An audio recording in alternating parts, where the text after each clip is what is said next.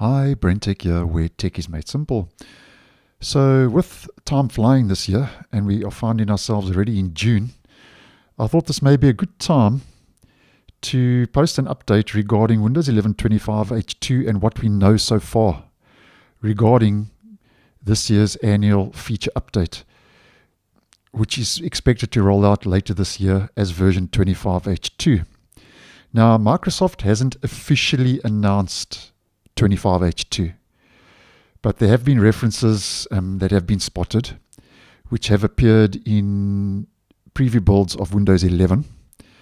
And I have posted on this where Microsoft previously said, and I'll leave the video linked, that it had confirmed that it would begin testing new behind the scenes platform changes for Windows 11 with insiders in the dev channel via a new series of builds in the 26,200 range. Because currently 24H2, last year's annual feature update is 26,100. So there's a very good chance 26,200 will be the um, the new series of builds for 25H2. Check the video out for more info. Now, Microsoft is known to roll out the annual feature update in the second half of the year which they usually do around about September or October. I know 24H2 they started rolling out on the 1st of October, but it's normally September, October, somewhere around that time frame. And I think it's going to remain the same for this year. I don't see why they would change. And by the way, if you're wondering, 25 stands for the year, and H2 means the second half of the year. Now, Microsoft normally rolls out the annual update as a controlled rollout. So it means that a lot of users will not get the update right away. I think that's also true with past annual updates due to safeguard holds and compatibility holds and so on for a whole different bunch of reasons. I don't want to get into that too much for this video. And new Windows 11 version updates or releases are supported for 24 months, two years from the date Microsoft rolled it out. Now, Windows 11 25H2 is expected to roll out so called on top or as the same platform release that was rolled out with version 24H2 last year in October. So, this is very similar to what we saw with 23H2 because Microsoft has done this with version 23H2, which was based on the same platform release as version 22H2.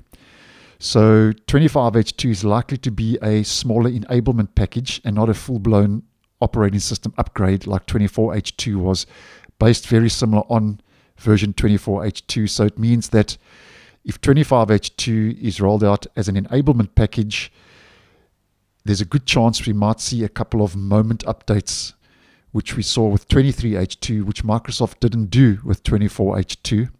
Although Microsoft is pushing out a lot of 24H2's features with optional bug fix release updates and monthly cumulative security updates. And another benefit of an enablement package would mean that the update should be a lot smoother, smaller, and faster on your system because it's only enabling features. It's not a full blown update as mentioned. And the current platform, as you may well know, release that 24H2 and 25H2 are based on is called Germanium.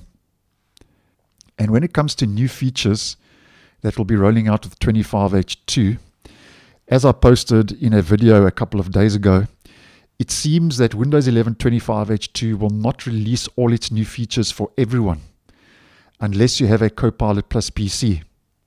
Go check the video out for more info. Because Microsoft is focusing a lot on Copilot Plus AI features exclusive to those devices.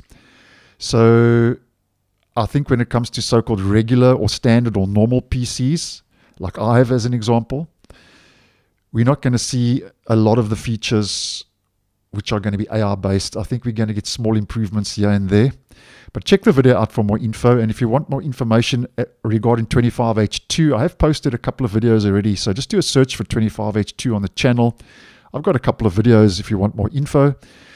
And if you want a reference point as to what we're going to see, give or take, in 25H2 when it comes to features. I think the dev channel is a very good place to start, where this is where Microsoft is now, although not officially said by Microsoft, unofficially, I would say, testing new features for this year's annual feature update with their 26,200 series, as mentioned. But I'll keep you guys posted, obviously, as I get more info and I've got something relevant I can actually post about. I'll keep you guys in the loop if you would be interested. So thanks for watching, and I'll see you in the next one.